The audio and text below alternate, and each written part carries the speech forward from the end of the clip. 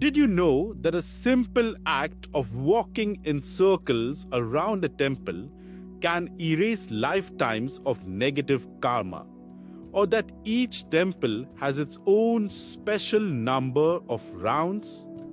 Welcome to an ancient Hindu practice with profound spiritual power, Pradakshina.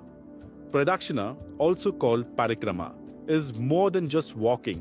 It's a spiritual journey around a sacred object or deity in a clockwise direction.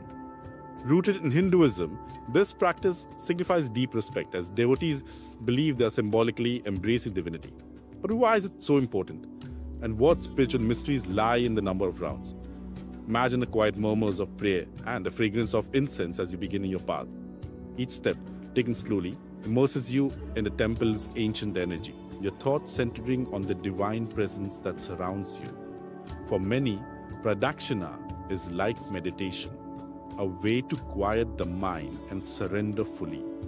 One round for Lord Ganapati symbolizes the removal of obstacles Two rounds for Surya Deva represent the cosmic dance of day and night. Three rounds at Shiva temples align with the three realms earth, atmosphere, and sky, and signify a bridge between them.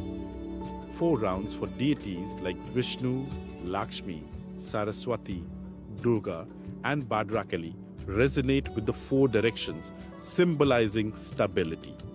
Seven rounds around a peepal tree represent the seven chakras, cleansing and balancing one's energy.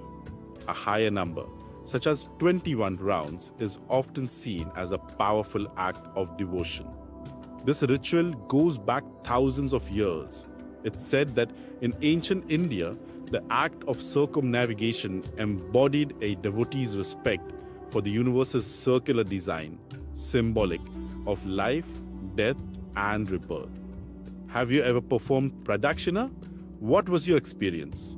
Tell us in the comments if you felt a shift in your energy or a deep sense of peace. To perform Pradakshina effectively, move slowly with heartfelt devotion, keeping your thoughts solely on the divine. Avoid conversation, immersing yourself in this sacred act. In Shiva temples, do only a half circle pradakshina, which represents the cycle of life. Completing it is believed to be equivalent to one powerful breath or pranayama in yogic practice.